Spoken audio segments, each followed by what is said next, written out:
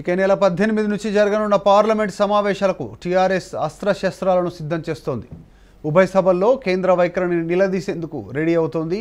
ఈ నేపథ్యంలో సీఎం కేసీఆర్ అధ్యక్షతన టీఆర్ఎస్ పార్లమెంటరీ పార్టీ సమావేశమైంది. ఈ భేటీకి టీఆర్ఎస్ లోక్సభ రాజ్యసభ సభ్యులు హాజరయ్యారు.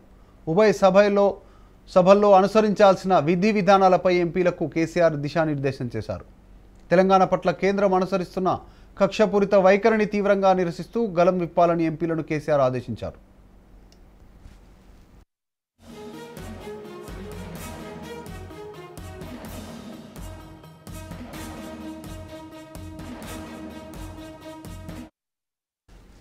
ప్రగతిశీల రాష్ట్రమైన తెలంగాణను ప్రోత్సహించడం మాని తెలంగాణ అభివృద్ధి పట్ల కేంద్ర ప్రభుత్వం దేశపూరితంగా వ్యవహరించడాన్ని నిలదీయాలన్నారు.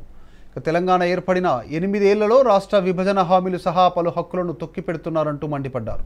బీజేపీ అసంబద్ధ వైఖరిని కలిసొచ్చే విపక్ష ఎంపీలతో సమన్వయం చేసుకొని ఎండగట్టాలంటూ సూచించారు. ధాన్యం కొనుగోళ్ళపైన కూడా పోరాడాలంటూ ఎంపీలకు మార్గనిర్దేశం చేశారు కేసీఆర్.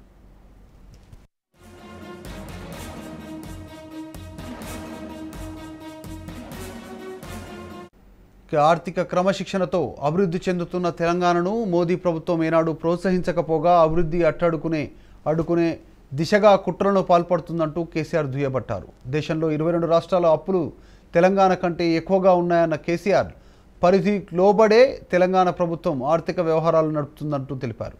రాష్ట్రం ఏర్పడిన ఎనిమిదేండ్ల కాలంలో ఒక్కరోజు కూడా ఒక్క పైసా కూడా డిఫాల్ట్ కాకుండా తిరిగి చెల్లించిన ట్రాక్ రికార్డ్ తెలంగాణ సొంతమంటూ కేసీఆర్ తెలిపారు.